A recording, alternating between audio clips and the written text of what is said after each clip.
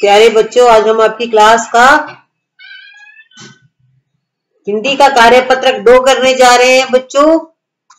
पहला प्रश्न है, नीचे दिए गए शब्दों को उनके अर्थ के अनुसार खालिस्तान में भरिए। बच्चों, दो यहाँ ऑप्शन दे रखे हैं, जो सही होगा वो हमें टिक करके और फिलअप करना है यहाँ पर, खालिस्तान में भरना है।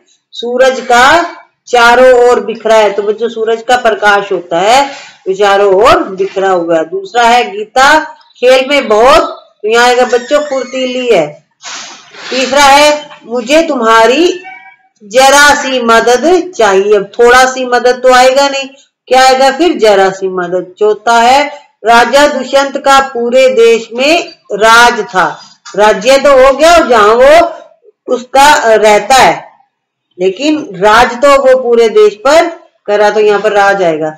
दूसरा है, बच्चों, हिंदी में कुछ ऐसे शब्द है जिनके एक से अधिक अर्थ है, जैसे कल कल दो होता है, जैसे आने वाला कल और बीता हुआ।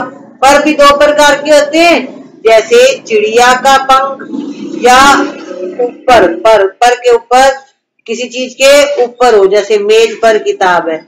और बच्चों, उत्तर भी दो प्रकार का होता है, एक तो उत्तर दिशा होती है, दूसरा प्रश्न का उत्तर जो आप आंसर देते हो या जवाब देते हो। तो बच्चों, ऐसे ही हमें इनके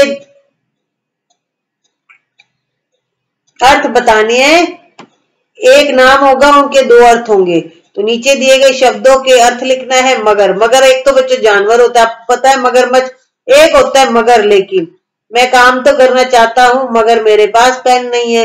या ऐसा ही कोई, मगर का मतलब होता है लेकिन या परंतु।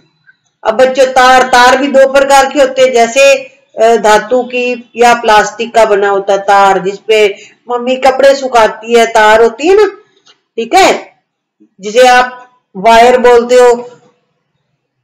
लंबी सी होती है जब बिजली की जो बच्चों वायर होती है, उसके अंदर जो धातु होती है, पीतल होता है, वो सब क्या होता है?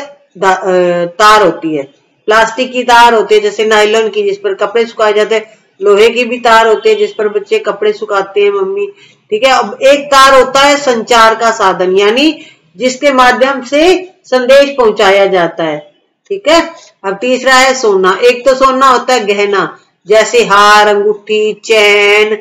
आपको कौन सा गोल्ड पसंद है? आप बोलते हो ना इंग्लिश में गोल्ड। ये वो वाला सोना है, गहने वाला। और दूसरा सोना है नींद लेना।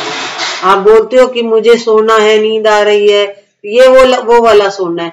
एक सोना के बच्चों, देखो दो अर्थ निकल रहे एक तो गहना आ रहा है, दूसरा नींद लेना। हार भी बच्चों दो प्रकार के होते हैं। एक जो आप गले में पहनते हैं, वो होता है गले में पहनने वाला और दूसरा हार होता है किसी से पराजित हो जाना, किसी से हार जाना। मान लो आप मैच खेल रहे हो, एक टीम जीत गई है तो दूसरी टीम क्या हुई? हार गई। ये वो वाला हार है। और फल फल बच्चों, एक खाने वाला फल होता है, जैसे आम, सेब, केला। और एक फल होता है परिणाम।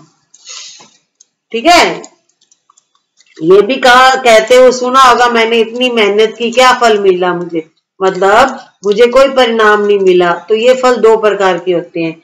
फल के दो अर्थ निकलते हैं। अब बच्चों, तीसरा है, निम्नलिखित व्यक्ति हमारी किस प्रकार सहायता करते हैं? डॉक्टर क्या करता है?